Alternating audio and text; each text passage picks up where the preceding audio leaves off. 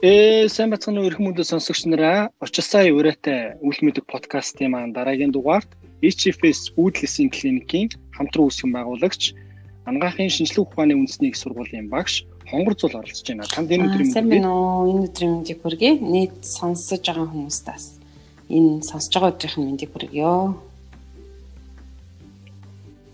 За таас сонсогчдод маань өөрийгөө бас товч танилцуулаач үүдлэсийн клиникийн гэхээр хүмүүс бас гайхчихж магадгүй яг яадаг юм бол гэдэг тий. Тэгэхээр энэ талаар бас товч танилцуулаач. За тэгэхээр чи сайн намайг танилцуулсан болохоор те би шууд үүдлэс гэдгийнхаа тухай хүмүүс товчхон танилцуулъя бодчихлоо. Аа бидний бие болохоор үндсэндээ хоёр төрлийн эс байдаг гэж үзэж болно. Нэг нь болохоор эд эрэхтэй өрмөц буюу аль нэг эд эрэхтний болоод хөгжиж байгаа эсүүд тэд нар маань болохоор яг тухайн эд эрхтнийхээ үүргийг ол гүйцэтгэж авдаг. Жишээ нь илэгний эсвэл яг илэг тий а бие махбод дотор эргэлдэж байгаа хорт боцыг шүүх үүрэгтэй байдаг бол одоо цусны эсүүд бол яг хүчил төрөгчийг биеэр хангаад тий биеийг биеэр хангах үүрэгтэй гэдэг ч юм уу. Гэтэл энэ бидний бие дотор байгаа эд эсүүд маань болохоор яг өөрсдийн тодорхой амьдралын хугацаатай байдаг. Хэвийн физиологи тий эрүүл хүнд гэсэн Тэгээд тэр физиологийнх нь насан дуусахаар оронд нь шин залуу үйл ажиллагааны чадвартай шин эсүүд гарч ирээд ингээд энэ үйл ажиллагааны тусламжтай бол бид нар олон жил үүдээ эрүүл саруул те өвчин юм тусахгүйгээр ингээд явж чадчихэйдэг. А тэгвэл энэ шин залуу эсүүд нь хаанаас гардаг вэ гэхээр энэ үүдлэс гэдгээс гардаг. А энэ үүдлэс нь болохоор өөрөө ямар нэгэн эд эрэхтэн өрмөц эс бол болж хөгжөөгүй юм тэг цэг дээр зогссон эсүүд байдаг. Тэгээд аль нэг ид эрэхтэнд нөгөө эсүүд нь хөшрөөд үйл ажиллагааны үед за миний хугацаа боллоо гэдэг мэдээлэл эрэхтэн зэрэгцээд за тэгвэл энэний оронд шин залуу үйл ажиллагааны үед алдагдaltaгүй ажиллах шин залуучууд гаргая гэж өөр өөрөөсөө оршуулах өөрийгөө хувилах замаар бие эрэхтний физиологийн хэвийн үйл ажиллагааг хангадаг энэ эсүүдийг хэлж байгаа юм. Тэгэхээр энэ чадвартай эсүүдийг нь бид нар өнөөдөр хүнээс өөрөөс нь ялгаж аваад эргээд тэрхүү эсээрээ эмчилгээ хийж байгаа үйл явцыг лүүдлсэн эмчилгээ гэж нэрлээд тэгээд тэр юм чиглэлийн эмнэлэг нэгэд ажиллаж байгаа гэсэн үг. Маш сонирхолтой. Аа чиглэлээр ажиллах юм байна. Тэгээд э, энэ талаар бас нэлээд хэд хэдэн нийтлэл болон одоо нэг энэ талаар ярьж байгаа яриа бас сонсч байсан. Тэгээд ер нь бол нөгөө нэг үүдлэс байхгүй болчихлоор дархлаа ундаг буюу дархлаа ганц тогтоож идэг зүйл нь өөрөө үүдлэс гэсэн нэг ойлголт яваад идэг. Тэр ер нь зөв гэж ойлгож болох уу? Эсвэл ер нь одоо та өөрийнхөө өнцгөөс тайлбарлав. Би байгаа бүх хэд эрэхтэн угаасаа бүх хэд эрэхтэн байгаа бүх хэд эсүүд түрүүний хэлсэнчлэн тодорхой хугацаанд дандаа шинжлэгдэж идэг хэвийн эрүүл физиологи дотроо гэсэн. Тэгээ энэ шинжлэгдэж байгаа бүх эдсүүд нь бүгдээрээ тухайн эд эрхтэнд өрмөц өөрт нь байгаа тэр үүдлэсээс үүсдэг учраас мэдээж үүдлэсийн үйл ажиллагаа алдагдвал нөгөө дархлааны эдсүүд чинь өөрсдөө бас хөгжиж чадахгүй алдагдлалд орох боломжтой. Яг бол гол их үүсвэр учраас яг ингэж хэлж ин гэхээр дархлааны эсүүд те цусны эсүүд ингээд тодорхой юу гэдэг 6-аас 9 цаг тутам шинжлэгдээ шинээр гарч идэг лимфоцитууд жишээ Тэнгүүд тэр лимфоцитыг гаргаж байгаа их үүсвэр болсон үүдэлсэн гэмтэлтэй болвол энэ хугацаа нэг эсвэл хит хоорондоо богиносчоор юу гэдгийг алдаа дутагдaltaй яг дархлаа чадамжтай эсүүд нэг эсвэл гарч чадахгүй эсвэл хитрхи хоол болчвол хугацаанда байх ёстой эсүүд нь дахиад хангагдаж чадахгүй гэдэг ч юм уу. Тэрэг тутгаараа наад ч юм бол тийм байж болох.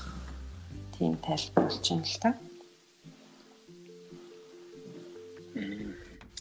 За ер нь анх яаж мэрэгчлээ сонгосон бэ? Юу нөлөөлсөн бэ? Хэн нөлөөлсөн бэ? За ерөнхийдөө болохоор яг манай яг ээж аа хоёр хоёулаа эмч хүмүүс.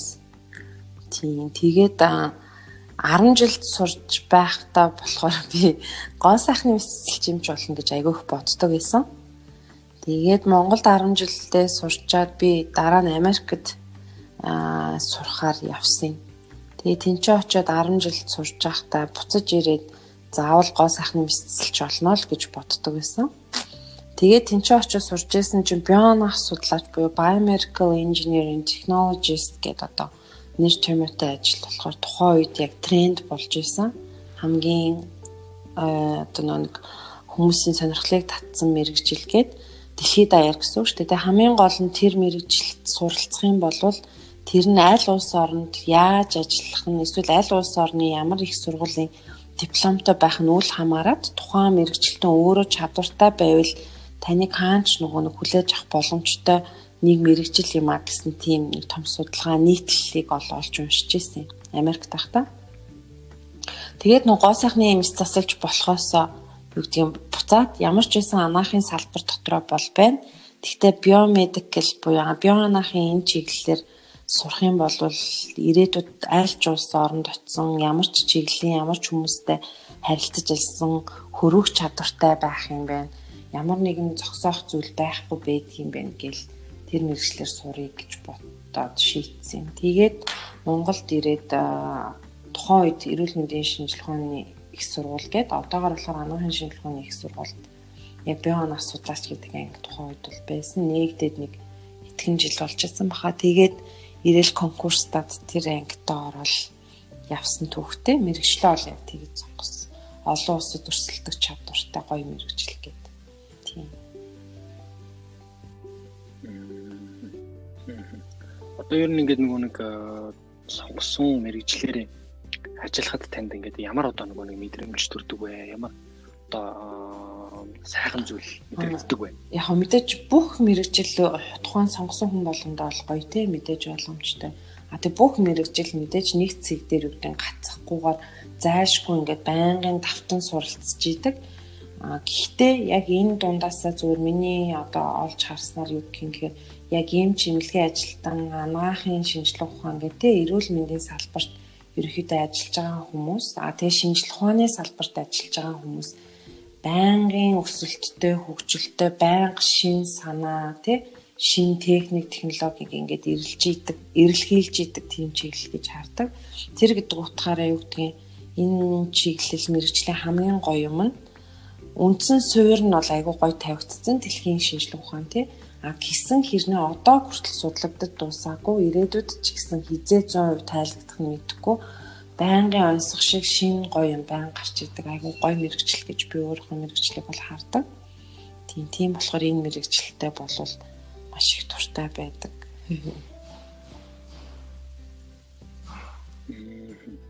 За тэгвэл одоо нөгөө био ангаах судлаач гэдэг мэрэгчлэр аа ингээд яг энэ чиглэлээр ажиллахад ямар одоо ур чадваруудыг шаарддаг вэ? Жишээлбэл одоо яг ийм ийм ийм ийм ийм гол одоо ур чадваруудыг эзэмшгүй л бол ер нь энэ чиглэлээр ажиллахад их хүн бэрхшээлтэй байдаг. А ер нь яг нэг юм тоочод те 1 2 3 гэдэг ч юм уу хэдч байдгийн а заавал 3 ч гэхгүй ер нь нэг ийм ийм нэг чадварууд бол зайлшгүй яг шаарддаг гэвэл та ямар ур чадваруудыг нэрлэх вэ? За биоанагаахын чиглэлээр шаарддаг ур чадвар гэхээс өмнө эхлээд яг Монголын нөхцөл байдалд бол ялангуяа анагаахын салбарт болохоор биоанаахын мэрэгчлэтнүүд өөрсдөө жоохон э, яг нөө ажил үүргийнх нь хуваарлалт нь яг 100 нэгдүгээрт гарч чадаагүй а тэр нь гэхээр юу гэдэг шууд нөгөө нэг тэр ажлын тий э, ямар үүрэгтэй яаж ажиллах уу гэдгийг гаргахаас илүүтэйгээр яг энэ мэрэгжлийн хүмүүс ажиллах орчин Монголд айгүй сайн бүрэлдэж өгч чадаагүй юм шиг санагддаг. Тэгээд яг энэ хүмүүс бол яг нэг нэг үгэлгээд энэ чиглэлээр бас яг 100% ажиллаж чадж байгаа хэсэг нь бол би бол заримдаа бол эргэлздэг аа мэдээж уур чадварын хувьд бол бианах судлаач гэдэг мэрэгжил нь өөрөө дандаа нөгөө шин техник технологи дээр суурилсан дандаа бие махбодод дотор эдисийн түвшинттэй явж байгаа өөрчлөлтүүдийг эсвэл явж байгаа хэвийн үзэгдлийг тайлахыг хичээдэг мэрэгжил чиглэл байдаг. Тэгэхээр яг тийм мэрэгжил гэхээр технологитойгоо холбоотой учраас аль технологиор юугаар аль чиглэлээр тийм үү? Чинь ген инженерчлэл юм уу? Эсвэл молекул биологи юм уу? Эсвэл патолог буюу эмгэг эмгэг физиолог эсвэл эмгэг бүтэц зүйл юм уу гэд тэ аль чиглэлд байхаасаа шалтгаалаад тухайн чиглэлд шаардлагатай техник технологийн ур чадвар бол зайлшгүй шаардлагатай бол байдаг. Гэхдээ би зүгээр яг суралцаад энэ хугацаанд юуг харсан бэ гэхээр уур чадвар тэг ялангуяа гараар хийдэг ч юм уу техникийн уур чадварыг болгон асар их мэрэгттэй хичээнгүй байгаа цагт бол ямар ч хэцүү юмыг бас сурж болдгийм байх гэж бол харж байгаа. Тэгэхээр хамгийн шаардлагатай уур чадвар гэх юм бол би ерөнхийдөө нөгөө нэг soft skill талдаа гэж би бол харж байгаа. Тэр нь бол юу гэдэг нь төвчээр тууштай тий зан хамгийн чухал тухайн зүйлдээ амжилт олоод тухайн зүйлээ ингээд мэддэг болоход а дээрэс нь энэ салбар нөгөө нэг өдөр тутам би өнөөдөр энэ зүг гэд нэг шинжлэх ухааныг гаргаад ирэхэд маргааш үгүй маа гэдэг хариулт гарах боломжтой ийм шинжлэх ухааны салбар байдаг болохоор ингээд нөгөө шин санаа онолууд гарч ирэхэд хөрвөх чадвартай уян хатан чанар сайтай байх хэрэгтэй гэж бас хардаг. Дээрэс нь байнга шинжлэгдэж учраас нэг цэг дээр зогсож өрдөөсөө болохгүй. Байнга шинийг ирэлхийлдэг. А гэтээ шинийг ирэлхийлж байгаа санаан дээр маш шийдэмгий.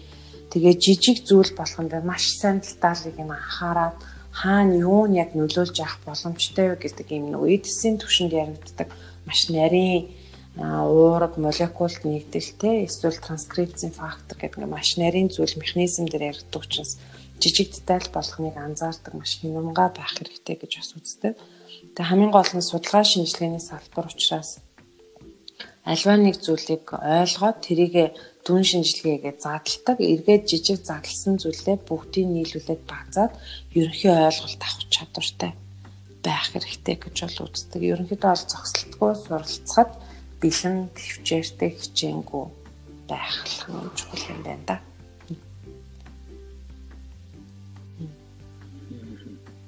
За би нөгөө нэг таны талаар нөгөө нэг уншиж судалж байхдаа үүдэлсийг нөгөө ялгаавч хадгалан дотоод шүүрэл гоо сайхан үе мөч тэргүүтэй өвснүүдийг эмчлэх боломжтой гэж харагдчихсэн. Тэгэхээр одоо жишээлбэл яг яаж одоо нөгөө нэг эмчлэг эмчилдэг гэсэн үг вэ? Одоо жишээлбэл үе мөчний одоо өвчин бол ялангуяа манай улс орны нөхцөлд бол настай хүмүүс бол нэлээ их үе мөчний өвчтэй. Одоо баг илүү залуучж гин гэдэг юм яваад байгаа тий. Тэгэхээр яаж имчилнэ гэсэн үг вэ?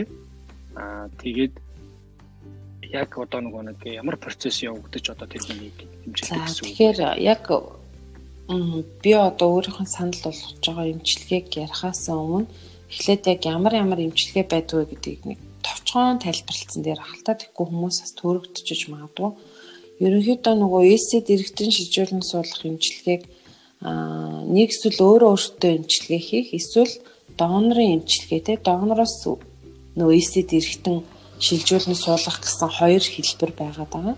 А яг манай эмнэлгийн санал болгож байгаа эмчилгээ нь болохоор та өөрөө өөрийнхөө эмч байна буюу өөрөө өөртөө донор байна гэсэн үг байхгүй юу? Autologous transplantation гэж бол хэлдэг. Тэгэхээр өөрөөс чинь авсан эсээр буцаагаад өөрийг чинь эмчилдэг технологи гэсэн үг. А тэгээ зарим хүмүүс болохоор андуураад юу гэдэг нь янз бүрийн бүтээгдэхүүнээр эмчилгэж чинь гэж ойлгодог. Ердөөсөө тийм байхгүй. А бидний эмчилгээндээ хэрэглэж байгаа гол үүдэлс нь ямар үүдэлс вэ гэхээр өөхнөөс ялгаж авсан үүдэлс бол байдаг. А дэлхийн практикт бол өөхнөөс ялгаж авсан, захын цуснаас ялгаж авсан, дээрэс нь хүү ихсэн судснаас гэсэн энэ гурван их үсрэг бол эмчилгээнд нийлээд хэрэгэлдэг. Гэхдээ яг түлхүү хэрэгжилж байгаа гурван чиглэл нь энэ байгаа. А тэгээд захын цуснаас авж байгаа үүдэлсийг бол яг энэ эмчилгээг цусны хавдартай хүмүүст их тохиромжтой байдаг. Тэгээ Монгол улсад болохоор усын нэгдүгээр төвөмлөг бол яг энэ төрлийн эмчилгээ гэдэг. А манайх болохоор яг танаас өөрөөс ч өөхийг аваад өөхнөөс нь үүдэлсийг нь ялгаад эргээд тэр үүдэлсээ одоо тэр өвдөгний асуудалтай ч юм уу те өөр бусад асуудалтай өвчнүүдийг нэмжлэх зорилготой хэрэгэлдэг. Гол нь энэ нөгөө нэг өөхнөөс ялгаж авсан үүдэлсийн давуу тал нь юу гэхээр нэгт эсийн эмчилгээнд бол нөгөө гаргаж авсан эсийнхэн тоо маш чухал гэдэг байхгүй юу? А тэгэхээр энэ өөхнөөс гаргаж авсан үүдэлсэд нэгт эсийнхэн тоо маш олон байдаг. Хоёрдугаарт энэ эсүүд маань өөрөө юу гэдэг нь үеийн мөч те яс мөгөөрс хайлс холбогч идүүд дээрээс нь буцаад өөхний эд мөн түнтэй зэрэгцээд мэдрэлийн эс болон цусны эсүүд болох цусны судасны эсүүд болж ялхар өгч чадвартай нарийн чадвартай эсүүд байгаа даа. Тэгээ ерөнхийдөө бол имчилгээ хийхдээ сая өөрөө чи асууснаар үе мөчний асуудал дээр бол мэдээж аль ч өвчний үед мэдээж имчилгээ хийвэл эрт үедээ хийх нь бол маш үр дүнтэй байдаг. Тэгээд Монголд бол үе мөчний асуудалтай ялангуяа одоо чинь өвдөгний үений асуудал маш их байдаг юм байна. Тэгвэл дандаа төсгөлийн шат руугаа нэлээд төгцсөн боيو дандаа үе шилжүүлэн суулгахтай төгцсөн өвчлөлтүүлэгч тэгэхээр тийм лээ. Тэгэхээр зүгээр энэнгээр сонсож байгаа хүмүүс байл та бүхэн маань өөрсдийнхөө биедтэй анхаарлаа тавиад аль болох өвчнийхөө эрт үед өөрсдөө өөрсдөнд анхаарлаа тавиад энэ чимлэгийг ажилтнуудыг зорж очоор л гэж бас хэлмээр байна. Асуултанд нь хариулсан. Дутаа хариулсан уу? Аа, болсон болсон. Аа, за. Аа, одоо жишээлбэл ингэж штэ нөгөө нилээн угшсан одоо нөгөө бугшсан хойноч гэдэг юм уу тийм нилээн ингээ нэг дараа бүр хэцүү архаг болсон үедээ хүмүүс очдог гэдэг штэ. Тэнгүүд аа нийтээрээ нэг юм ойлголт байгаа даа штэ. Миний бие одоо өвдөхгүй байгаа учраас ер нь бол зүгээр байгаа даа. А тэгэхээр би заавал имлэг ер нь орох хэрэг байна уу гэдэг штэ тий. А эсэргээрээ уулан балтаа хидийдж байсан ядаж нэг улиралтай савда биш юм ахад улиралтай нэг удаа өөрийгөө ирүүл байна уу би ирүүл байна уу тий надаа ер нь миний нөгөө нэг бид э, ямар нэгэн одоо нөгөө нэг өвчний нөгөө анх шатны дээр суур ингээд тавигдж гин үгүй юу гэдэг ингээд уулын шалгуулах хэрэгтэй байтал манайх нийтээрээ бол яг тэр ойлголт бол байдгүй шүү дээ. Дандаа юмыг ингээд нэг юм тулгаж бүр эцсийн шатнд нь тулаад бүр нөгөө нэг одоо яг амар өвдөд байна гэдэг үе тийм дандаа тийм. Очдөг штэ тэгэхээр магадгүй эрт үед нь буюу а магадгүй зүгээр нөгөө нэг сэргийлэгч гэдэг юм уу тий. Одоо жишээлбэл саяны ингээд үе мөчтэй жишээлбэл холбоотойгоор ялангуяа нөгөө өвдөгний үений асуудал гэдэг зүйл бас их дамжирч гараад байна гэж. Тэгэхээр магадгүй энэс сэргийлэхийн тулд тэгвэл ер нь нийтээрээ нэг ийм зүйлийг анхаарах хэрэгтэй байгаа маа. Жишээлбэл тий эсвэл шинжилгээ өгдөг ч юм уу нэг эсвэл одоо нэг ийм одоо жишээлбэл энгийн аргаар жишээлбэл одоо дасгал хөдөлгөөн хийгч гэдэг юм уу эсвэл тэр талаасаа хэрвээ та зөвлөвлөе юу гэж одоо нэг нэг аа ерөнхийдөө бол яг уурчсан сэргийлэх анаа ухаан одоо нэлээд сайн хүч хэрэгтэй гэж бол хардаг. Тэгээд э, юу гэдгийг заавал удирал тутамд нэг үзүүлээд авах ер нь шаардлагагүй. Гэхдээ наснаа наснаас хамаарат хэдэн жилээс зарим нь жилийн зайтаагаар ерөнхийдөө нөгөө давтан үзлэг шинжилгээнд зайлшгүй хамрагдчих хэрэгтэй гэж бол үздэг. Тэгээ одоо юу гэдэг бид нар ч юм болохоор машиныхаа тос маслыг олж жилдээ нэг удаа ямар ч гэсэн солиулчаад байгаа шүү дээ. Өвөл 102-ын зааг дээр ялангуяа за одоо тос маслаа солиулъя гэдэг ч юм. За байга гэхэд нөө шил арчигчнда өвлийн үйлрэлд бол хөлдгүүгээр заавал антифризтэй тий шил арчигч гэл зориудаар юм авч хийдэг гэрнээ өөрснийхөө биеийг өрдөөсөө тоохгүй жоохон өвдөд эхлэнгүүтлээ за яах вэ? Ингээд өвчин ам байх хэлж за яах вэ? Гайгүй ам чин гэж байгаад яг чиний хэлснээр дандаа хамгийн муудаад бүр үнэхээр хүнд болчоод зарим тохиолдолд бүр өмчлэгийг болчоод хүрээд ирдэг. Уул нь юу гэдгийг аль өвчин юм гэхээсээ шалтгаалаад 40 хүртэлх наснд бол нэг за байга гэхэд 2 жилдээ нэг удаа ч юм уурчсан зэрэглэх үзэлт ороод 40-оос дээш наснд ерөнхийдөө хүний бие физиологи өөрөө угаасаа уруудах үйл явцад орж эхэлдэг гэж үздэг байхгүй юу. Тэгэхээр тэр цагаас эхлээ жилдээ нэг удаа ч юм уу те яг тогтмол заавал бүх юмыг хийлэг гэдэг байгаа юм биш. Гэхдээ ядаж лабораторийн шинжилгээ өгөөд ингээд өөрчлөлт орж ийн үгүй юу гэдгийг эхний ээлжинд хийнэ. Аяанда өөрчлөлтүүд ороод эхэлж байгаа зүйл байлаа. Тэр чиглэлийн нарийн мэрэгжлийн эмчнэр рүү хандаад ядаж явдаг байгаа чи эхний ээлжинд А бүр сайн болдог бол мэдээж энэ дээр нэмэгдээд бусад төрлийн багцын шинжилгээнүүдийг хасаахих тусам уулна анхаарал хийгээд яваад байвал юу гэдэг эрт үед нь барих яг эхэлж явах үед нь барих нь мэдээж тэр хүний амьдралын тавилан, дээрээс нь эдийн засаг гэдэг арга гэр гэд маш олон зүйл дуулна бол гэд эерэг сайн талтайгаа тахгүй. Одоо төсөглийн шатанд ороод эмчилгээ хэлэхэд зарцуулагдах мөнгөний хэмжээ дөнгөж байрч авж байгаа үед зарцуулагдах мөнгөний хэмжээ хоёр мэдээж шал ялгаатай зүйл шүү дээ тий хүмүүс эцсийн арга хэрэглэе гэл байдаг бүхнээ тавьж туудаг тэрнийхэн оронд үед нь барьчлаа гэж тэр зархаж байгаа мөнгөнийхэн тодорхой нэг хэсгийг зараад бариад аваад имчлээд цааштай ингээд юу гэдэг анхааралтай аваад хинаад явах боломж олгуулсан байгаа. Тэгэхээр өөрчлөсөн сэргийлэх манай ухаанд гэдэг талаас хүмүүс өөрсдөндөө машиндаа зарцуулдаг шиг юм сэтгэл гаргаач ил гэж хэлмээр санагддаг шүү дээ.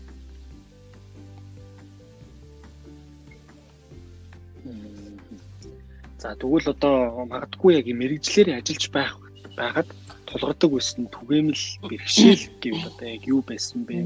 Энэ бэрхшээлүүдээс юу сурсан бэ? Ерөнхийдөө бэрхшээл гэж бодохоор яг мэдэхгүй мэрэгжил болгон дээр мэдээж янз бүр өдөр тутмын бэрхшээлүүд бол гардаг. Гэтэ ер нь ингээд ерөнхий тойм те өв зүйлээр нь хараад тахад нөгөө гарч байгаа бэрхшээл болгон дийлэнх тохиол дандаа нөгөө мэдхгүй чадахгүйгаас болж гардаг бэрхшээлүүд бол байдаг. Эсвэл нөгөө талаасаа хитрхи их мэдчихээн чаддаг гэдэг дээрээ багдамнаад нөгөө алдаа гаргаж байгаа асуудлууд бол байдаг гэж би хардаг. А тэгээд надад гарч ирсэн хамгийн том бэрхшээл нь ялангуяа яг докторт Япон улсад очиж суралцаад тэр чинь би чинь бакалавра төгссөн, магистра төгссөн, резидентийнхаа эмчийг хийцэн ингээд яваад очиж байгаа хэрнээ те бүхэл бүтэн 10 хэдэн жилийн боловсрол эзэмшээд очиж байгаа хэрнээ очиход юу гэдэг мэдхгүй чадахгүй маань маш их байсан. Тэгээ тэрэн дээр айгүй их нэг хэсэг эмзэглэж өөртөө хүн дээр тусаж авсан л та. Тэгээд яг Япон багш нарын маань заасан хамгийн гоё зүйл нь юу байсан гэхээр хүн мэдхгүй чадахгүйгаас өрдөөс айх хэрэггүй, ичих хэрэггүй, санаа зовх хэрэггүй. Хамгийн гол нь мэдхгүй байгаа, чадахгүй байгаа гэдгийг мэдээд олоо тэрийгэ хүлээн зөвшөөрж байгаа гэдэг нь бол айгүй том чадвар аа нэгдүгээр шүү дээ. А хоёрдугаар мэдхгүй чадахгүйгаа нэгэнт мэдсэн юм чинь тэрийгэ мэдхийн төлөө, чадахын төлөө мэрэж байгаа сэтгэл бол хамгийн сайхан зөв үзэл баримтлал гэж бол яг манай багш нар үздэг байсан. Тийм болохоор юу гэдгийг худлаа мэддэг юм шиг дүрсгээд те өө би чадна шүү дээ чаддаг гэж худлаа хэлэх юм мэдхгүйгээ хэлчихвэл маш сайн заагаад өгнө. Заасныг нь сураад цаашаа хэрэгжүүлээд явхад нөгөө алдаа магдаг гарахгүй илүү зэгцтэй зөв явах нэг боломж гарч ирж байгаа. Нэгдүгээр. А хоёрдугаар ч гэдгийг хитрхи их мэддэг гэж байнга өдөр тутам хийдэг ажлаа хүртэл Япон хүмүүс маш хинамга хийдэг. Яагаад гэвэл нөх хүн нэг үйлслийг олон дахин давтаад хийгээд ирэхээр тодорхой хэмжээнд нөгөөх нь гарт нь орчдөг учраас хаяа хийсэн хийгээгүй мэдэхгүй нэг рефлекс байдлаар хийцэн байдаг. А тэгээ манай багш нарын барьдаг гэсэн бодол нь юу гэхээр тэгж бол болохгүй. Яагаад гэвэл яг тийм үед хамгийн их алдаа гардаг учраас илүү их хямгаа байгаад бүх зүйлээ ингээ хинж хийх хэрэгтэй гэж хэлдэг байсан. Тэгээ тэр зам бас их гоё ингээ сургамжтай алдаа гарахаас сэргийлдэг юм шиг санагдсан. Тэгээд энэ хоёр зүйлийг бол би ой тондоо гартлаа санаад энийг бол байнга өөртөө одоо тэр цагаас хойш а тэгээ өөрийнхөө хичээл зааж байгаа оюутнуудаа ч гэсэн энийг тий хилээд заагаад явах гэж хэлдэг шүү дээ. Тий. За түрүүн нөгөө нэг та хэллээ шүү дээ. Япон улсын Япон улсын нөгөө жижигийн анагаахын сургуульд үүдлээс түмэн зохицуулга гэсэн чиглэлээр докторийн зэрэг хамгаалсан тийм. Тэгэхээр би нөгөө нэг Японы нөгөө нэг тэр магистр болон докторийн сургалтад нь ямар хүнд байдаггүй гэдгийг нөгөө нэг найзаасаа сонсч байсан байхгүй. Тэгээд ер нь бол ингээд нөгөө чиний яг бакалавра хийчихэд энд магистр хийнэ, магистр доктор хийнэ гэдэг бол тийм амархан зүйл биш ээ. Амар хийм нөгөө нэг юм судалгаа, юм шинжилгээ юмуд дээр айгүй ажилдаг нэг газраас нөгөө газар руу аягүй болон судалгаа шинжилгээ юм хийх хэрэг гардаг. Өстой шиг нөгөө утгаар нь судалгаа хийлгэх тэр чиглэл рүү явуулахаас гадна маш олон зүйлийг сурахад бас их нөгөө нэг нөлөөлдөг ийм нөгөө нэг сургалтын системтэй газраа нэлийн нарийн бас их чармаалт шаардна гэж хэлжсэн бохоггүй. Тэгэхээр таны хувьд одоо яг энэ докторийн зэрэг хамгаалаад ирсэн хүний хувьд бол яг ер нь ийм байдаг юм билээ шүү. Бас ийм юмд бэлтгэлтэй бид нар бас байх хэрэгтэй гэдэг юм билээ шүү гэвэл юуг ер нь цахиж залуучуудад хэлэх вэ? Докторын зэрэгээр хэрвээ одоо магадгүй би докторын зэрэгийн хамгаалалт байгаа. За нэгдүгээр болохоор зүгээр би юу гэж харсан гэхээр хаана очиж суралцж байгаа чинь айгуу чухал те. Яг л тухайн нийгмийн эсвэл ерөнхийдөө нөгөө нэг үзэл баримтлал гэж байдаг шүү дээ. Япон бол ерөнхийдөө маш их зүйлийг төлөвлөж яг бүх газар төлөж байгаа. Гэтэ хамгийн гол нь төлөвлөгөөний эсрэг явах эсвэл нэг юм нөгөө open minded гэдэг ийм нээлттэй байдал нь харцангуугаар бусад нөгөө хөгжингөө Европын орнуудтай харьцуулахад арай хаалттай байд юм шиг санагддаг. Ялангуяа би нөгөө Америкт сурч байсан болохоор тэрнтэйгээ харьцуулаад байгаа. Тэгээд хаана очих байгаа газрынхаа нөгөө нэг өөрсдийнх нь нийгэм соёлын талаар нэгд айгуу сайн бэлтгэлтэй очих хэрэгтэй юм шиг санагдсан. Тэгээд тэрэндээ сэтгэлээ бэлтцсэн багт юу гэдгийг А эн чинь угаасаа ийм зүйлээр явдаг. Иймэрхүү хандлагатай улс ард түмэн учраас энийг нь би мэддээд байвал нөгөө стресст орох магадлал нь багасаад ирчихэж байгаа байхгүй юу? Нэгдүгээр тэр тухайн орчноо хүлээн зөвшөөрж ин гэсэн үг шүү дээ. Хугацаа алдахгүйгээр чи өөрийгөө төрлөг бэлтгэсэн учраас тэнд очиод хугацаа алдаад стресстэй хямраад ах шаардлага байхгүй. Аа тэгээд дараагийн зүйл мэдээж маш сайн сууж сурдах бэлтгэлийг өөртөө сайн хийх хэрэгтэй гэж бол боддог. Сууж сурах гэдэг нь юу гэж байгаа юм гэхээр ямар ч байсан докторийн зэрэг хамгаална гэхээр тухайн тэнхимтэй сургууль ямар ч гэсэн чамайг хүлээж авахар шийдвэр гаргахад тэд нар чиний дараагийн 3-аас 4 жилийн амьдралыг аль хэзээний ингэ төлөвлөсөн байдаг. Аль хэзээний очихд чинь бүх юм нь дийлэх тохиолдол. Яг бол доктор магистрийн сургалт ч юм бол бид нар яг шин зүйлийг судалж байгаа ч гэсэн хідээч өөртөө цоошин юмыг сэдвийг гаргаж ирээд бүр цоош нь өөр юмыг судалдаг зүйл бол биш. Дандаа тухайн тийхэмд байгаа профессорын хийж байгаа нөгөө судалгааны ажилд нь баригдаж одоо нэг чиглэлд нь баригдаж тэрэн дотроо шин зүйлийг эргэлхийлдэг. Тэгэхээр тэрэндээ бэлтгэлтэй а суугаад тэрийгээ судалж уншихад бэлэн байдалтай очих хэрэгтэй. Яг бол очоод тухайн профессорын өгсөн чиглэлийнхэн дор чи өөрөө шинийг судлаад уншаад одоогоор судлагдаагүй байгаа асуудлыг хөндөж олж хараад тэрийг багш нартайгаа ярилцаа цааш нь гүнзгийрэл судалдаг болохоор суун. Тэгээд дараагийнх нь болохоор нийгэм талаасаа гэдэг уу. Ялангуяа Японд ямар байсан гэхээр бүх зүйлийг төлөвлөгдсөн багш нар ерөнхийдөө амар тусархаг хүмүүс японочууд. Гэхдээ нөгөө талаасаа өөрсдийнх нь нөгөө байр байдал нь хүнд гай болохгүймсэн гэдэг хандлагатай арт түн байдаг учраас нөгөө гинт юу гэдэг Монгол зангаараа төлөвлөгөөгүйгээр багшаа би ийм бодоод ингээ хийгээ авч ирсэн учраас та өнөөдөр надад туслаач гэдэг те гинтийн юм бас нэг туртай хүмүүс байдаггүй. Тэр гэдэг утгаараа чи ажлаа маш сайн төлөвлөөд асуудал гарах боломжтой зүйл гэж чи өөр дүгнэд харж байгаа бол 7 хоногийн өмнөөс юм уу те 2 7 хоногийн өмнөөс чадвал сарын өмнөөс багшаа би ер нь нэг ийм хийх гээд байгаа. Энэ дээр ингээд байгаа. Миний яг харж байгаагаар ийм хүндрэл гарах юм шиг байна. Энэ хүндрэлийг би даван тулахад те ганцаараа туулж чадахгүй юм шиг байна таны туслалцаа зөвлөгөө хэрэгтэй юм шиг байна. Та тухайн үед надаа цаг гаргаж өгөх гэдэг байдлаар харьцахад манай багш нар бол аюул дуртай байдаг байсан. Тэгээд аль болохоос тэр чиглэлийг нь бариад хүнд тууг удахгүй байхаар юм хийхийг аягүй хөцөрдөг гэсэн. Тэгэхээр тэдгээр зүйлийг энтэй анзаарч харж ивэл тэр зүйл бэлтгэлтэй байвал очиод сурахад бол орсонгоор монгол хүмүүс бол ер нь юмд аягүй гайгүй хурдан сайн тасдаг. Аа тэгээд нийцээд явж чаддаг гэж би бол шээ.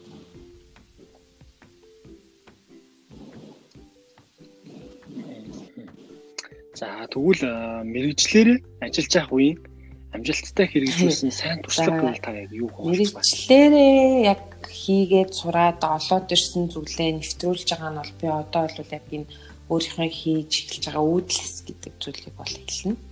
Зүгээр яг нөө судлаач хүний үүднээс лабораторид ажиллаад явж байхад бол би өөрийнхөө Японд суралцж явах үед миний эзэмшсэн яг кислогийн арга барил шинжлэхтгүүн юу гэдэг өөрийнхөө судалгааны те эдисийг бэлтэж байгаа тэр эзэмшсэн техник маань бол яг үүдлээс тэр дундаа өмчин тархины үүдлээс тэр судалгаа хийжсэн хүмүүс дотор бол миний яг арга техник бол нэлээ хүлээн зөвшөөрөх заа айгу сайн техниктэй гэж үздэг байсан.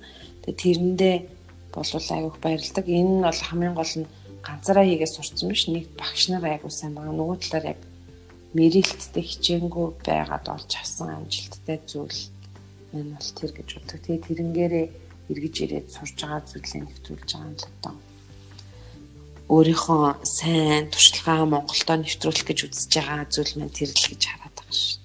Сурсан зүйлээ авчирч ингээд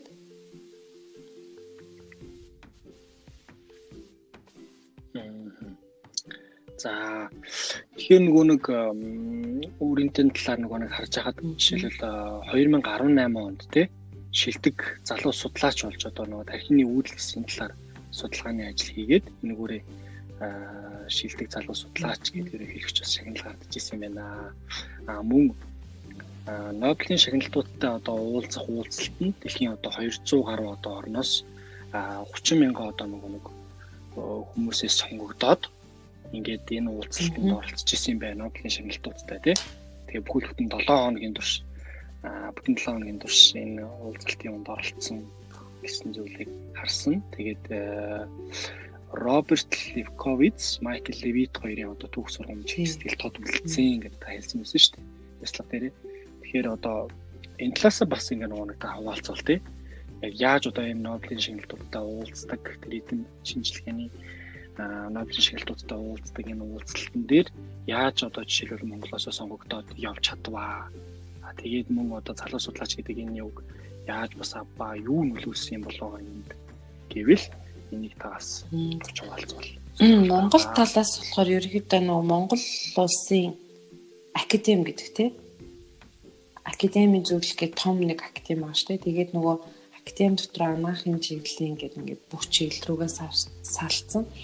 Ерөнхийдөө яг энэ олон улсын түвшинд энэ Нобелийн шагналтнуудын уулзалт чинь бидрийнх явсан нь бол 68 тоннээсээ одоо бараг 70 нь нуу 71 төгн болох ч юм шиг дээ. Тэгээд бүх улс орны энэ академик гишүүдтэй бол эднэр хамтарч ажилладаг юм билээ. Тэгээ академиас нөгөө э манай анаахын шинжилгээ ухааны их сургууль дээр зар ирсэн. Ийм хуралд одоо нөгөө нэг материалыг нь цаашаа ингээд явуулнаа гэд. Тэгээд академи тэр зарын дагуу материалаа бүрдүүлээд бид нар явуулсан. Тэгээ ерөнхийдөө бүх сонгон шалралт зүйл нь бол цаана Германд очоод яг тэр Германы Нобелийн шагналтнууд даас бүрдсэн тодорхой тооны Нобелийн шагналтнуудаас бүрдсэн зөвлөл гэдэг юм л да. Тэр зөвлөл нь өөрөөсөө тэг 30 мянган одоо нөгөө материал ирсэн хүмүүсийнхаа материалтай танилцаад бидний шалгуурт нийцэж байна гэсэн 600 хүнээ жил болгон сонгож авдаг юм билээ л дээ. Тэг мэдээж энд бол улсдаа баярлах хэрэгтэй ямар ч гэсэн академийн үйл ажиллагаа тодорхой хэмжээнд олон улсын түвшинд харилцаа сайтайгаа учраас Монгол эрдэмтэнтэй залуу судлаачид нь өөрсдөө энэ зүйлд apply хийхэд асуудалгүй ингээд нөгөө боо явж болж байгаа хгүй хэрвээ энэ академийн зөвлөл энэ академи мэнтэй өөрсдөө тэрийг тийм харилцаагаа хөгжүүлээгүй тийм зүйл байгаагүй бол мэдээж энэ хаалга бол хаалттай байх байх л та. Тийм тэгэхээр нэгдүгээрт бол тийм хоёрдугаарт бол тэр хийсэн мэдээж ялангуяа докторийн ажил хийсэн судалгаа шинжилгээ маань өөрөө бас гоё ажил гэж хүлээн зөвшөөрөгдсөн учраас яг сонгогдох боломж маань бол гарсан байх гэж бол хардаг. Нэг талаасаа а нөгөө талаасаа мэдээж хувь хүн талаасаа хийсэн хөгжил бүх юмыг бол давхар нөгөө CV-н дээр материал дээр харж байгаа. Дээрэс нь том жижиг олон янзын эссе бичиж байгаа тэрэн дээрээ тэгэхээр нөгөө хувь хүний үзэл байрамтлал тухайн хүний онцлог бүх юмыг нь хараад дүгнэлтээр гаргаад сонгодог баг.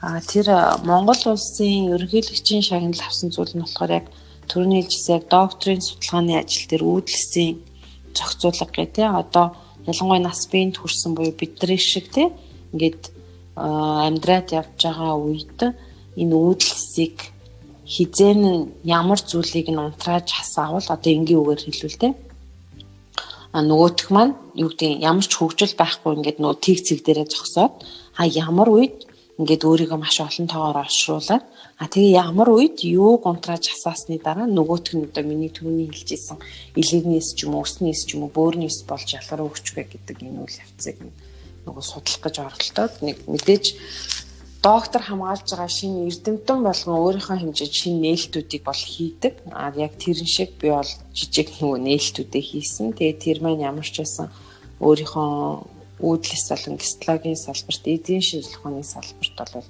хамгийн өндөр ранкингт ордог олон улсын судалгааны пейперт бол яг журнал дээр бол хэвлэгдэж гарч ирсэн. Тэгээ тэрийг маань л үнэлэл өгсөн баг. Дээрэс нь хамгийн гол нь өгж байгаа шагнал гэдэг утгаар нь юу гэж харсан гэхээр за гоё юм сураад ирсэн. Тэрий ч үнэллээ. Одоо цаашлаад энийг ашиглаад юм хийх ёстой гэдгийг илүү сайн ойлгуулсан түлхэц болж байгаа юм байна л гэж харсан шнэ. Түрүү та нөгөө нэг нийтлэл хэвлүүлсэн гэдэг чинь дээ. Тэгэхээр нөгөө нэг судалгааны ажил нийтлэлт өгөх, хэвлүүлэх, ялангуяа олон улсын нийтлэлт тэрийг хэвлүүлнэ гэдэг бол маш их хугацаа шаарддаг. Тэгэхээр энэ талаараа бас та хуваалцах сонирхолтой байх те. Ер нь хэр хугацаа зарцуулсан бэ? А тэгээд ямар нөгөө нэг нийтлэл юун дээр гарч исэн бэ? Тэрийг бас суулцаа сонирхолтой баг тийм. Яг гарсан нийтлэл маань болохоор ерөнхийдөө яг өөрөө анхдагч зохиогчор гэж байгаа юм тийм. Яг үндсэн нөгөө нэг их судлаачаар бол яг 2 пепер а нийт баг хамтлаар хавлантайгаа нийлээд бол 8 пепер бол гаргасан байдیں۔ Сурж авах хугацаанд а тэгээд ерөнхийдөө мэдээж нэгдүгээр курст доктортой очоод судалгааныхаа сэдвийг сонгох хүртэл бол хэдэн сар тэгэл судалгааны ажлынхаа чиглэлийг сонгохдоо зэрэгцээл юу судлагдаагүй судлагдсан байна гэдгийг судлаад дата авах үйл явцтай одоо нөгөө яг хэвлэгдэхэд хэрэгжилж байгаа дата мага цуглуулах үйл явц бол ердөөс пепер хэвлэлийн хэвлэгдэл дата байнга цуглуулсаар л байдаг. Яа тэгэхээр за энэ дата миний судалгааны ажилд хангалттай гэж үзээд за энэ шинэлэг гэж үзээд би юу гэдэг тухайн journal-д ингээд өөрийнхөө материалыг авуулна шүү дээ. Тэгэхээр дийлэн тохиолдолд 100% тэр байгаа байдлаар нь хүлээж авдаггүй нэгдүгээр. Хоёрдугаар хүлээж авлаа гэж ботход юу гэдэг маш их бичиглийн засваруудыг бол яаж ч утсан ямар ч мундаг хилтэй хүн дээр байсан бол хийдэг. А тэгээ дийлэнх тохиолдолд нэмэлтээр ямар нэгэн судалгаа шинжилгээг давтаж хийх эсвэл нэмж хийх хэрэгтэй байна гэдэг ийм хүсэлтүүдийг бол айгүй их авалдаг. Тэгээд ерөнхийдөө чинь 2010 6 гэдэг чинь 3 жил орчим хийсний дараа датагаа бол яг нөгөө бүгдийг бичээд нийлүүлээд те өгүүлэл болгоод journal руу бол явуулж исэн. Тэгээд материал хүлээж авсны дараа эн чинь хамгийн гол нь олон улсын стандарт нь одоо Монголтой харьцуулахад юугаар ялгаатай гэхээр Монголд болохоор би нэг үр дүн авчаад тэрийг ингээд нөгөө жоохон бичлэгийн өөрчлөлт гарчгаа өөрчлөнгүүд доторх нөгөө яг үндсэн олсон ухагтгуун шин зүйл маань яг нэг хിവэрээ ирнэ ингээд Монголд байгаа маш олон төрлийн сэтгүүлүүд төр ингээд гарчдаг. А гэтэл гадаадд ч юм болохоор хамгийн гол ялгагдах зүйл нь юу гэхээр би яг нэг дата гаргаад авсан тэрийгээ би А сэтгүүлд явуулж байгаа бол А сэтгүүл надад нэг эсвэл чамааг хүлээж авлаа эсвэл чинийхийг татгалцлаа гэдэг хариуг эрен эртэл би дараагийн хоёр дахь сэтгүүл рүү юм явуулах эрх байдаггүй. Хэрвээ тэгэх юм бол plagiarism буюу одоо юм чинь хүн хуурсан ажил гэж үзээд айл айл сэтгүүл нь чамаас татгалзах хэрэгтэй байдаг. Харин айгүй аацтайгаар би өөрийнхөө нөгөө нэг ихнийхэн өгүүлэлийг тухайн сэтгүүл төхөд миний харцангай айгүй шин зүйлийг хэрэгцээтэй байсан зүйлийг нь судалсан байсан болохоор хариу нь бол нэг 2-7 хоногийн дотор за чиний пеперийг хүлээж авлаа ингээд цаашдаа энийг чинь accept хийлээ. Одоо бүгдээр revision буюу засварын үйл ажиллагаагаа эхлээд энийг илүү сайжруулад явъя гэдэг хариу нь бол ирсэн 2-7 хоногийн дотор. Тэгээ 2-7 хоногийн дотроос би нэг 2 сарын дотор яг тэдний тухайн сэтгүүлээс ирсэн шаардлагын дагуу засваруудаа хийгээд 2-7 хоногийн дотор бол бэлдээд эргүүлж явуулаад нэг дөрөвдөх сар гэхэд бол яг хэлэхтэд гарсан. Энэ нь бол мэдээж бусад судлаачтай харьцуулахад харьцангуй хурдан гарсан л да. Яаж тийж хэлж юм гэхээр манай Тэгэн дээр яг надтай хамт суралцж исэн манай Индонез найзын пепер бараг бүтэн 1 жилийн турш 4 5 сэтгүүлээс татгалцсан хариу авах хүртлээр маш их удаан хит хитэн сарын засварууд хийлгэж хийлгэж байгаа л за заах боломжгүй байна гэдэг хариултуудыг өгөөд 4 5 сэтгүүлээс сөрөг хариу сонссныхон дараа а яг сүлд хийлэгдэж бол гарчсан. Тэр чинь шууд ницаахгүй дийлэнх тохиолдолд дандаа засвар хүсдэг засварууд нь явах гэж нэлээд хэдэн сар болдог. Засварууд нь явж агаад эцсийн дүндээ за за таалагдахгүй юм ч юм. За за манай сэтгүүлд нийцэхгүй юм байна гингүүт нөгөө төр чинь буцаагаад татгалцсан хариугаа өгчөж байгаа байхгүй юу. Тэгээ тэр бол тиймээс мэдээж яг тэр гадагшаага пепер явуулах хүртэл тийхэн дээр бол маш нарийн цогц үйл ажиллагаа болж байгаа юм л да.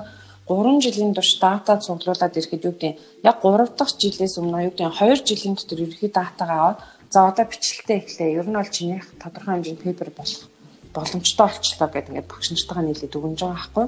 Тэгэд чинь би юу гэдгийг а товч хураангуй үндэслэл зориг зорилтоо тавиад арга аргачлаа гаргаад үр дүнгээ хилээд те дээрэс нь хилцэмжээсгээ бичээд гээд ингээд явхад бичих үйл явцсан яг маш хурдан хийвэл нэг цэгцтэй зөвхөн тэрэндээ анхаарлаа хандуулаас бол нэг 2 сарын дотор яг бичиж байгаа Тэгээд тэр чин бичин бид нар гэтэл англи хэл чин бидний те хоёр дахь хэл учраас тэрийг эхлээд тухайн сэтгүүл рүү явуулахаас өмнө proof editing хийх хэрэгтэй. А proof editing хийхээс өмнө мэдээж техникийн багш нар өөрсдөө суугаад утга 100% мэрэгжлийн талаас алдаа оноо байна уу гэдэгт дахиад 2-3 сар шүүлт хийж сууж байгаа байхгүй юу. Тэгээ бүх засваруудаа дуусангууд proof editing буюу яг natural speaker тэ англи хэлээр төрөлхийн яг англи хэлтэй анхдаг жилийн англи хэлтэй дээрэс нь яг анаахын суур боловсралтай. А ийм манай ялангуяа манай нарийн мэрэгчлэр нарийнсан тийм хүнд материалаа дахиад явуулж байгаа proof editing хэлгээд. Тэнгууд тэр үйл авцсан дахиад нэг юу гэдгийг бичиглээс шалтгаалаад а дээрэс нь тухайн нөө хүлээж авч байгаа хүний зав зайнаас нь шалтгаалаад нэг за их хурдандаа сарын дотор үгүүдээ гэхэд нэг 3 сарын дотор болж байгаа нь тэр процедур. За тэгээд дуусангууд одоо нөгөө хамт тэр сэтгүүлтэй чинь цагтл бичин янз бүрийн нотлох баримт гэдэг айгүй олон бичиг баримт бүрдүүлдэг. Тэгээ тэрийгэ бүрдүүлээд явж байгаа. Ерөнхийдөө бол тэгэл маш нөгөө нэг ерхий бичгээр чи энэ бүх үйл явц чинь нийлээд анх цэг тавьж судалгаа хийж хийснээс сүүлийн цэг тавих хүртэл үйл явц чинь 3 жил болчихж байгаа байхгүй. Маш харин хугацаа зарцуулдаг юм байна гэдэг нөгөө өмнө нэг судлаач оролцоо. Тэгээд сүүл бас нэг э, яг э, нано инженерчлэл нано технологич чиглэлдээ нөгөө одоо ажиллаж байгаа. Залуу бас э, судлаач оролцож байхад бас тэгж ирсэн. Ер нь бол айгүй хугацаа ордгоо тэгээд яг нөгөө түрүүний таны нөгөө процессыг хэлжсэн л да. Тэгэхээр таних бас ачаал нэлээд хурдан явсан. Тийм бичиглэл үйл явцаас. Ер нь бол ихэнх хүмүүс ч юм бол ч юм нэг талаар олон улс нөгөө нэг яа яриаг нь тасалчлаа учраас нэг зүйл нь юу гэхээр одоо дийлэн хугацаанд гадаадд докторийн сургалтанд хамрагч байгаа хүмүүс бол яг 4 жил 3-аас 4 жил л байдаг. Аа тэгээд тухайн сургуулийн тавьж байгаа шаардлага нь ямар байхаас шалтгаалаад хэрвээ судалгааны ажлаа олон улсын өгүүлэл хэвлүүлэх ёстой гэдэг зүйлийг гаргасан л байвал тухайн судлаач тэр ерөнхийдөө судалгааны ажлыг гаргахад 3-аас 4 жил л байгаа гэж үзээд маш их зогсолтгүйгээр ажилладаг л да. Нөө үр дүнгээ олж авахын тулд Тэгээ үр дүн хангалттай гэж үзсэн цагаас мэдээж хугацаанд амжихын тулд яарч хийж байгаа. Тэгээд мэдээж гадаадад гэдэг утгаараа тухайн Дээрэс нь Япон шинжлэх ухаан өөрөө олон улсад хүлээн зөвшөөрөгдсөн байдаг. Нөгөө юу гэдгийг хулгаагаар эсвэл нууцаар байхгүй юмыг бий болгоод тий зохиогоод хийцэн байдаггүй учраас бас тэр талаас нь нэгдүгээр хүлээн зөвшөөрөгдөх боломж нь илүү өндөр байгаа. Монголтой харьцуулах гэсэн үг шүү дээ. А нөгөө талаасаа мэдээж тухайн хийсэн судлагдсан судалгаач нь өөрөө тухайн чиглэл дотроо шинэлэг байж чадвал энэ том сэтгүүлүүд чинь айл болох хурдан өөрсдөн дээр хэвлэлэх сонирхолтой байдаг тэр гэдэг утгаар бас хугацаа амих боломжтой болчихж байгаа байхгүй. Тэгэхээр нэгдүгээр мэдээж судалгаа хийхээр зорж байгаа бол тухайн сонгосон чиглэл чинь юу гэдгийг альч сэтгүүл сонд аль болох хөвлөгдөөгүй байх тусмаа хурдан авахгдана. Хоёрдугаар чиний хамтарч хийж байгаа судалгааг хамт хийж байгаа байгууллага хамт олон чи өөртөө тухайн шинжлэх ухаандаа хүлээн зөвшөөрөгдсөн тий хүмүүс байвал бас давхар хурдан эвлэгдэх боломжтой гэсэн.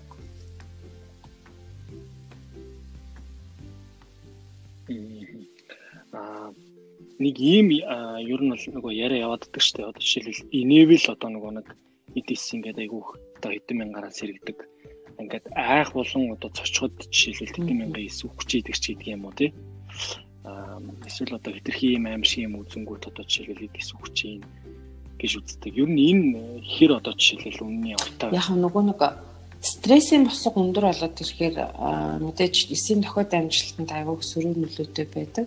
Тэгээ тэрний хайрын оруулалт яг эсвэл апоптоз буюу эсийн өхөлд орох боломжтой байдаг. Гэхдээ тодорхой хэмжээний цочруулах авах нь бас тухайн бие организмд бол хэрэгтэй гэж үздэг. Зөвхөн тухайн бие организмын авах тэр зочруулын э, мэдрэг чанар те босго нь хүн болгонд өөр өгдөг болохоор яг 100% юу гэдгийг аим шиг кино үзэл тэр хүн шууд хамаг идсэн өгч जैन гэдэг ч юм уу те стресс чинь гэсэн тийм бол байхгүй а мэдээж маш харамсалтай юу гэдгийг муу муухай зүйл тохиолдсноос болж гарах стрессийн үйл явцд бол мэдээж EDS-ийн төвшөнд, эсийн доторх төвшөнд бол маш их олон төрлийн сөрөг урлууд явагдсантай холбоотойгоор бол бид гарах өөрчлөлтүүд дандаа сөрөг тийшээ л байгаа юм л та. Тэр гэдэг утгаараа enable нөгөө залууч нь enable ингэн гэдэг чинь ад жаргалтай байх юу энэ үед чи стресс байхгүй би дотор явж байгаа дийлэн хурлууд нэмтийн яг хэвийн гормоороо явах хэвээр зүйлүүд нь дийлэнхтэй зөв яваад байна л гэсэн утгасан юм уу Одоо шилүүл нөгөө нэг ариг хэрэглэхлээр одоо тэдэн мянган эдэс гэлээдэг шүү дээ Тэр тий арх болоо одоо сөхтөрүүлгүүндээ хэрэглэх тохиолдолд эдис үхдэг гэж? Тий эдис үхдэг гэсэн нэг юм яв нийтлэлүүд би бол хэд хэд удаа харж ирсэн байхгүй юу? Уухад одоо тэдэн мянган эдис үхч идэг.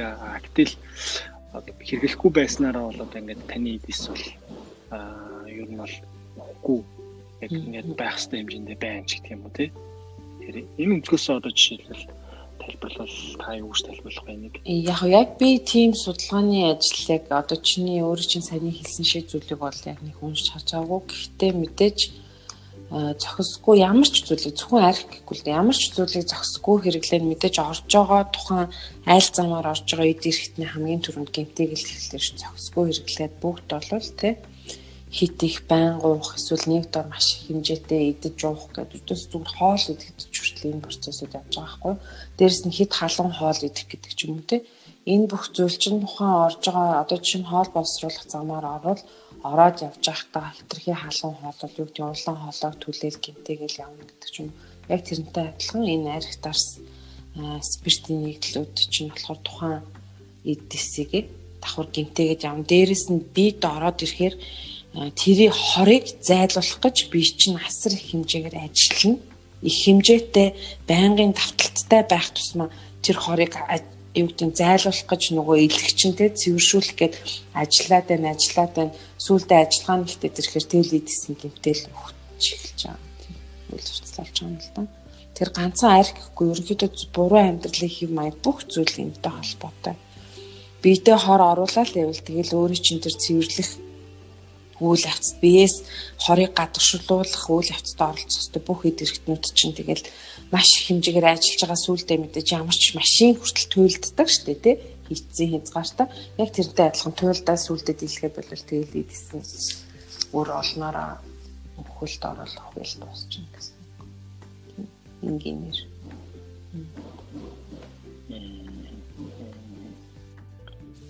Зөв. Зя ер нь нөгөө нэг юм карьерийг та юу гэж ойлгодог вэ? Ер нь карьераа төлөвлөдөг үү?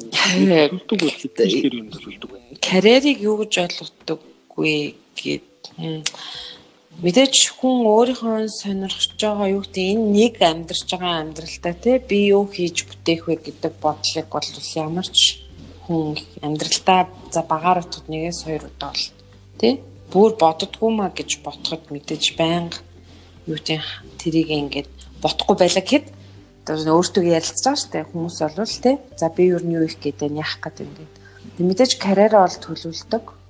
А төлөвлөөд юу гэдэг би ханаас судлаач болно гэсэн.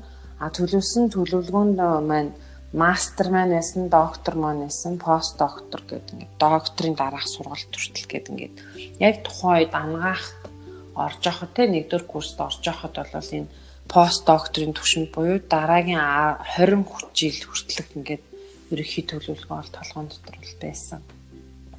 Тэгээ одоо бол төлөвлөгтөө бол харьцангуйгаар арай э, тухайн үед залуу үеиг шиг бол тэгж урт хугацаагаар шууд бүгдийг нь бол төлөвлөж чадахгүй байгаа. А миний төлөвлөгөө бол нэг 5-аас 8 жил дотор яваад байгаа. Одоо сүүлийн 17 оноос хойш гэсэн үг л дээ. А гэхдээ юу гэдгийг холын зорилго бол байгаа зорилгоо бол миний одоо юу гэдэг эцсийн зорилго маань бол айгүй том зорилго бол байна. Мөрөөдлийн зорилго тий. Тэгээд тэрэндээ мэдээж хүрэхийн тулд ингээд шатууд агаад байгаа хгүй тий. Тэр хүрэх шат болгондоо юу гэдэг тодорхой хугацаа өгөөд за энийгээ биелүүлчихвэл энэний дараа энэ энэ алхмыг аваад явхад энэ хугацааг өгч болох юм байна гэдэг байдлаар өөртөө явж байгаа. Тэгээ дээрэс нь одоо ч нөгөө би чи бас яг оюутан байх үеиг шиг ганц бие хүн бол биш те ээж хүн эхнэр хүн учраас давхар нөгөө гэр бүлийнхэн төлөвлөгөөг эндээ оруулах хэрэгтэй байгаа учраас нөгөө тавьж байгаа хугацаагаа хитрхи хол залуу үеиг шигэ ганц бие үеиг шигэ хол бол тавьж чадахгүй юм л да олон хүний төлөвлөгөөг давхар өөртөө нийлүүлэх хэрэгтэй болохоор тэгээд 5-аас 8 жил байгаа. Тэрнээс ч мэдээж бүх юма төлөвлөсөн. А тавьсан зорилго маань хол байгаа. Том зорилго байгаа учраас ингээд шаттай зорилгодоо хүрэх нөө зорилтуудаа айгуу сайн тавьчвал тэгэл зориг төрөхөд бол болох юм байна, болтгол юм байна. Болж л таарна л та хүн хөдлөө тэрнийхэн төлөө хичээгээд байвал тийм.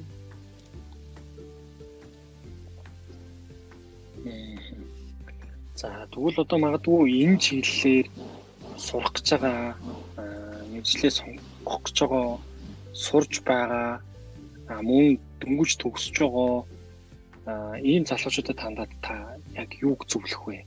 Ер нь нэг иймэрхүү юмыг бас мэдчихвэл илүүдэхгүй шүү. Ийм юмыг бас хэлмээр байдаг юм аа гэвэл та юуг хамгийн түрүүнд би түрүү хэлжсэн те Япон багш нараас сурсан хамгийн гол зүйл маань бол хүн нөгөө мэдхгүй чадахгүй гэдгээс айх хэрэггүй.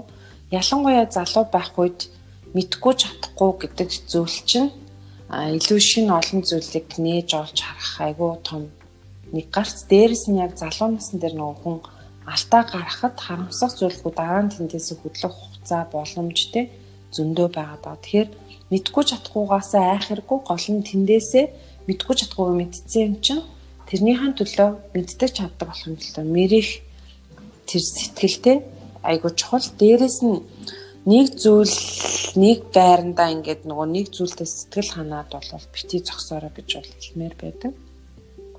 Яг бол боломжгүй зүйл гэж байхгүй гагцхуу тэр юу гэдэм боломжтой болохын тулд чи зөв гарцыг нь л олж харах хэрэгтэй гэж би бол боддог. А тэгээд ирээдүйд хэрвээ энэ чиглэлээр төгсөж байгаа, төсөөд гарч байгаа мундаг те ирээдүгөө төлөвлөлөд харж байгаа залуучуудад би юу хэлмээр юм гэхээр Японд суралцж байгаа хавцтай бас нэг сурсан айгүй том зүйл мань юу байсан гэхээр ийм нөгөө хамтын ажиллагаа айгүй сайтай санагддаг, санагдсан. А ялангуяа энэ ямар утгаараа гэхээр нийт үндэстнээр японочдод ч нөгөө монголчууд аюу хүнсрэг үзэлтэй гэж ярьдаг шүү дээ. Тэгээ нийт үндэстнэрээ бөөнөрөө юу гэдэг бүгдээрээ нийлээд шинжлэх ухаанаараа бусад улс оронтой өрсөлдөх юм мундаг арга барилыг авч явж байгаа. Тэр нь яг юу хэлээд байгаа юм гэхээр одоо яг өвдөлс өмчин тарих гэдэг чиглэлээр өмчин тархины өвдөлс өмчин тарих гэдэг чиглэлээр судалгаа шинжилгээ хийж исэн яг Япон улсад бол нийт эрдэмтэд жилдээ нэг удаа л цугларч уулздаг байсан. Тэгээ тэгээд уулзахад нэг намайг те жишээ нь одоо гадны докторийн оюутанг оролцуулаад нэг 200-аад л мөрж байгаа маш цөөхөн тэр чинь те олон сая хүн дотор. Тэгээд бид нар ингээд тухайн хуралдаа уулзалтандаа явахын өмнөх хэдэн сарын өмнө багш нар маань юу гэдэгсэнгээр за удахгүй тэр хуралд явнаа. Одоо чи ирээдүйн нэгээс юу гэдэг нэг жил эсвэл 2 жил 3 жилийн дотор юу төлөвлөж юу судалмаар байгаагаа ингээд чигсаагаад бичээд шинэ ID те санаануудад чигсаагаад бичиж байгаарэ. Тэг хурал дээр очиод танилцуулна шүү. Танилцуулна шүү гэж хэлдэг байсан. Тэгээд нөгөө нэг юу гэдгийг юу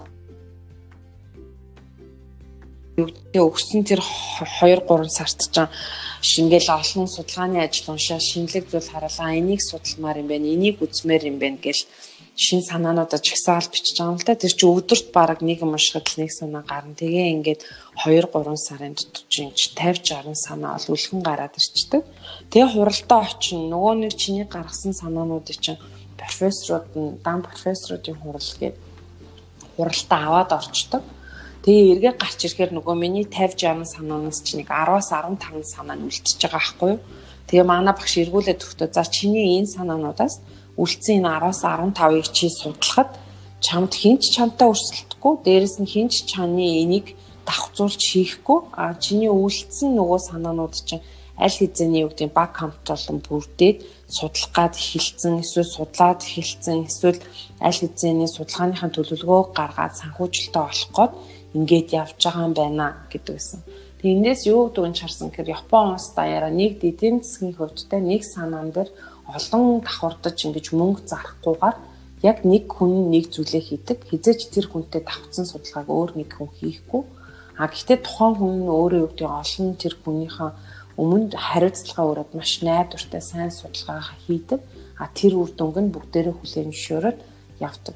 Тэгээ эдийн засгийн хувьд үр зардал багтай. А гэхдээ шинжлэх ухааны ололт амжилт нь маш олон зүйлийг хамарсан шинэ зүйлүүд тал талаас гарч ирээд нийлээд цаашдаа хамтдаа яваад дэлхийн түвшинд гараад өрсөлдөх чадвартай тийм бүтээл гаргадаг гэсэн. Тэгэхээр нээлттэй байгаад а бусдаагаа хамтарч ажиллахад бэлэн а тухайн салбарыг өмчлөхгүйгээр нийтээрээ хийхэд бэлэн юм нээлттэй байгаарай шинэ зүйлд бэлэн байгаарай өсөж хөгжөхөд бэлэн ийм байгаарай гэж бол бас хэлж сануулмаар бол санагддаг.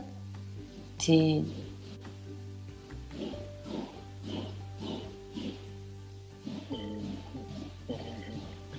За Сайн дурын ажил бол та ер нь сайн дурын ажлыг юу гэж боддог вэ? Яг хүн бол боломж байвал хийж байх ёстой зүйлийн нэг гэж би бол хардаг. Яагаад үг гэхээр яг 10 жил дахтаа бол яг сайн дурын ажил тэр бүр хийгээд байснаа бол санахгүй байна. Одоо тэр чинь бидний үед чинь нөгөө а сайн дурын үйл ажиллагаа гээл нулаа шүдэнд цуглуулна те баривч хийгээд ир нөгөө юу гэдгийг цаашаага илгэвч гэдэг чинь юу гэдэг лээ тэгээд нөгөө хөдөө орон нутагт байгаа малчид руугаа тусламж явуулна энэ төр гээл те тэр чинь бол тухайн үед нэг хэлбэрийн сайн дурын үйл ажиллагаа шүү те гэхдээ зүгээр нийтээр нийгмээрээ хийдэг байсан маш сайн зохион байгуулалттай Аа тэгээд яг тийм зүйлд оролцдог байсан. Тэгээд яг Америкт очиж суралцж байгаа хавцтай хамгийн гол нь хүн гэдэг чинь өөрөө нөгөө нийгмийн амьтан. Тэгээд нийгэмдээ хүлээсэн үүрэгтэй тэр зүйлээ нийгмийн нэг хэсэг гэдгээ хүлээн зөвшөөрөд эргээд нөгөө нийгэмдээ өгөх нэг зүйл чинь тэр сайн дурын үйл ажиллагаа болж ийн гэж бол хардаг. Тэг хийж байгаа үйлж байгаа нь юу giving back те буцаагаад өгж байгаа нь заавал нөгөө мөнгөн хэмжээгээр эд хөрөнгө агуулмжаар бол байх албатай бол биш. Хүн өөрийнхөө цагийг зарцуулаад цагаа зориулж ин гэдэг чинь ер нь бол мөнгөтэй хөрөнгнөөс илүү үнэлж башгүй том хөрөнгө оруулалт, сайхан сэтгэл, сайн үйл болж байгаа гэж бол харж байгаа байхгүй? Тийм тэр гэдэг утгаараа нийгэмдээ бол хүн хариуцлагатай байгаа зөвхөн өөрийнхөө төлөө биш те хаяа бусдын төлөө гэсэн сайхан сэтгэл гаргаад юм хийх бол заашгүй хэрэгтэй гэж үздэг.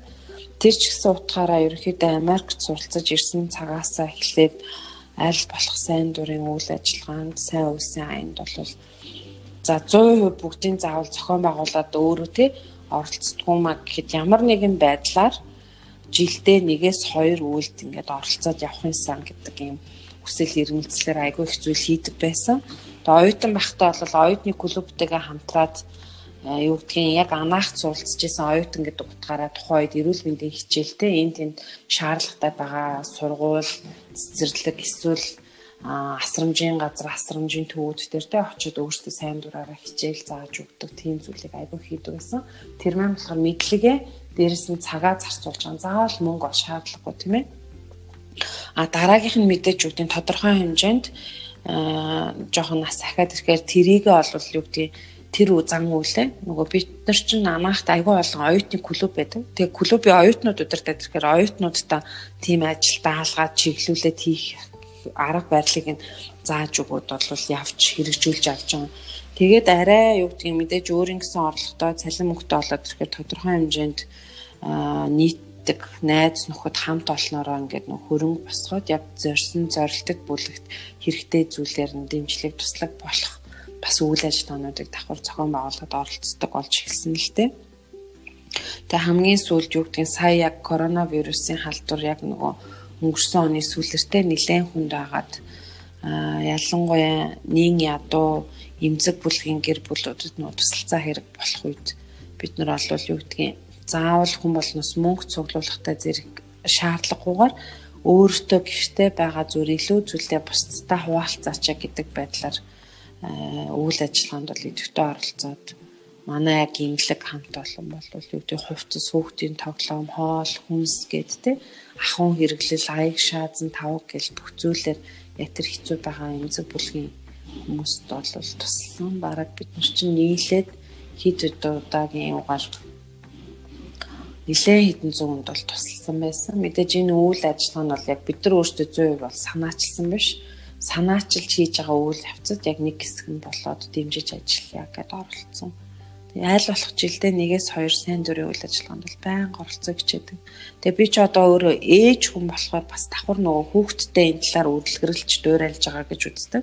Энэ маань бас нэг талтай юу гэдэг ирээдүйд нийгэмдээ хүлээж байгаа хариуцлага одооноос хүүхдтэй зааж өгч байгаа л гэж үздэг ш. Тэгээ юу гэдэг хүүхдтэй гээ ярилцаад жаа уншихгүй те илүү ном юу байна, илүү хэрэглэхгүй байгаа бал тэ тоглоом хувцснаасаа өгөөд хэрэгцээтэй байгаа хүүхдэд нь өгөө гэх зэрэгээр жишээ нь хүүхдтэйгээ ярилцаад нөгөө тоглоомноос нь хуваалцаад ном сурах бичгээс нь хуваалцаад явж байгаа юм л да. Тэгэхээр хүүхд маань ч гэсэн оюутнуудтай бас энийг заадаг. Тэгэхээр оюутнууд маань ч гэсэн ирээдүйд энийг амьдралтаа хэрэгжүүлээд явж байгаа. Би бол энэ хүний амьдралын айгүй том зайлшгүй нэг зүйл нийгэмдээ өгж байгаа тий ач туссан нэг хэлбэр гэж үздэг. Мэдээж нийгэмд өгж байгаа ач тус нь бидний хийж байгаа ажил мөн гэхдээ ажлаасаа гадна бас нэг юм зүйл байх хэрэгтэй гэж би бол боддог. Их чухал гэж үздэг шээ. Энэ болохоор аа магадгүй одоо нөө сонсож байгаа сонсогч маань гайхчих магадгүй.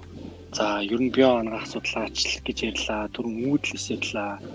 За тэгээд э, яг одоо жишээлбэл био ангаа асуудлаач чиглэлээр төгсөөд тий одоо яг энэ үүдэлсийн чиглэлээр ингээд ер нь яг юу хийдгийм болоо гэд те а маш энгийнээр нөгөө нэг мэдхийг хүсчиж магадгүй тайлбарламаар юм гэхээр яг бионах гэдэг те анагаахын мэрэгчлэлтэй хүмүүс одоо яг бионахын чиглэлээр сураад төгсөх ажлын байрны бэлэн байдлыг Монголд бол 100% олдцтой гэж бол хэлэхгүй. Яагад бол энэ шинжлэх ухааныг энэ чиглэлийг өнөөдрийг хүртэл би монголчууд өөрсдөө тэгээд яг анаахын салбарын ч гэсэн 100% ойлгож байна гэж бол би боддоггүй.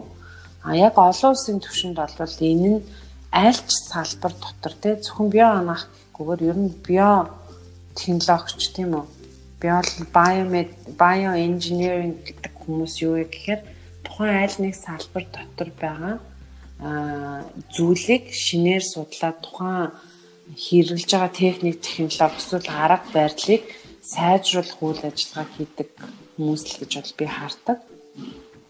А тэг яг биогоноос судлаач гэхээр олон улсын түвшинд яг энэ мэрэгчлэр ажиллаж байгаа хүмүүс одоо чинь нэмэлгийн салбарт ажиллаж байгаа хүн бол юу гэдгийг лабораторийн салбарт бидний хэрэгжилж байгаа юу гэдэг онцлогоог хийж байгаа эмчилгээг хийж байгаа хэрэгжилж байгаа уралж бодсон яг зөв байна уу илүү энийг чанаржуулж болох уу? эсвэл илүү хурдан болгож болох уу? яах вэ ийх үү гэдэг. Энэ бүх нарийн протоколыг ингээ бүгдийг гаргадаг тэр протоколдоо зориулсан юу гэдэг багаж тоног төхөөрөмжийг тухайн салбар болгоно чиглүүлээд өөрсдөө дахиад судлаад яваад шинжилээд явж байгаа хүмүүс гэж ингийн үгээр бол хэлж болно. Тэгэхээр Монголд бол одоо энэ салбар харьцангуйгаар ирээдүйд бүр гой хөгжөөд явах боломж болцоонууд бол илүү гой нэгдэд явах бах юу гэдэг тодорхой хэмжээ бие анаах төгсөн хүмүүс бол одоо жишээ нь манай эмнэлэгт яг юу гэдэг те эссийн судалгаа хийгээд эсээ шинжилээд гаргаад явах боломжтой гэсэн үг баггүй юу. Тэгэхээр энтэй мэдээж одоо зэрэгцээд олон төрлийн эсэдийн төвшин судалгаа шинжилгээ хийдэг байгууллагууд эмнэлүүд ч гэсэн нэмэгдээд ирэх баг л та. Дээрэс нь манай эмнэлэг гэхгүйгээр давхар нэгдүгээр эмнэлэгт жишээ нь яг цусны хавдартай хүмүүст үүдэлсэн эмчилгээ хийж байгаа түрүүн хэлсэн тий. Тэгэхээр тэнд ч гэсэн тэр тухайн эсүүдийг нь зөв зохицуулахтай механизмыг нь хадгалаад эсвийн эмчилгээг нь хийх процедурыг нь хянах, эсийг нь бэлдэж хүмүүс нь бол одоо бас би оноо асуудлаач бас байж болох боломжтой гэсэн. Тэгэхээр энэ нь бол цаашдаа улам гоё нарийн явах. Энэ бол зүгээр л яг эмнэлгийн практик талаас нь шүү дээ. А тэгээ шинжлэх ухаан талаасаа одоо бид нар юу гэдгийг ковид ингээл вакцин гэж ярьж байна те. Тэгэхээр яг энэ вакцин технологи үйлдвэрлэлт энэ бүх зүйлийг уулын хийж байгаа хүмүүс чинь дэлхийн хэмжээнд яг энэ био engineering biomedical technologist гэдэг энэ хүмүүс байгаа байхгүй юу? Айцаас чиний мөрөөдөл чинь айцаас чи илүү том байх хэрэгтэй гэж бол нэгдүгээр хэлмээр байна. Тэгжээч гэдэг бид нар айцаа дагамжуулаад мөрөөдөлтөө хүрнэ, зорилготой хүрнэ гэсэн үг. Аа тэгээд чиний хэлж ярьж байгаа үгнээс илүү чиний хийж байгаа үйл хөдлөл чинь чамайг харуулдаг байгаасай. Энийний төлөө хичээгээсэй гэж мөн хүсэж байна. Аа тэгээд дараагийнх нь болохоор бидний юу гэдэг зүгээр сэтгэл санааны те мэдрэж байгаа энэ төрж байгаа мэдрэмж маань бидний итгэл үнэмшлээс илүү том битгий гараасай буюу юу гэдэг өөрсдөө итгэл үнэмшил сэтгэлийнхаа төлөө явж байхдаа зүгээр тухайн үеийн сэтгэлийн мэдрэмжээрээ тухайн зүйлд бити хандаарай гэж хэлмээр байна. Юу хөнгөн хумгаа бити хандаарай гэж хэлмээр байна. А нөгөөдлөөсөө бидний үеийн эсвэл надаас дээш насны хүмүүс сонсч байл үү нэг юм заах гээд байгаа бол биш л те зүгээр хандаад хэлэхэд залуу үе залуу болсон хүчнүүдээ ойлгоод сайн удирдаа дэмжилж ажиллаж байгаасай. Тэгээ нийтээрээ нийлээ бүгдээрээ юу гэдэг заавал Япон гэхгүй л дээ би өөр Япон школтой Японд сурсан болохоор одоо тэгж байгаа. Гэхдээ улс орноороо нийлээд эзэн засгийн үр зардал багтаагаар бас энэ яг шинжлэх ухааныг заавал шинжлэх ухаан гэхгүй ер нь бүх салбартаа Гэхдээ хамтын ажиллагааг илүү гоо сайжруулахын төлөө та бүхэн маань цаг хүчээ бас зарцуулж байгаасай. Тэгээ залуу боловсон хүчний гоё дэмжээд хамтдаа явал гэж хэлмээр байна да. Танд маш их баярлалаа. Энэ удаагийн дугаар маань хэрвээ сонсогч сонсогч нар та бүхэнд таалагдсан бол subscribe. Тэгээд бус хүмүүс түгээгээрэй. Сайхан амраарай. Маш баярлалаа.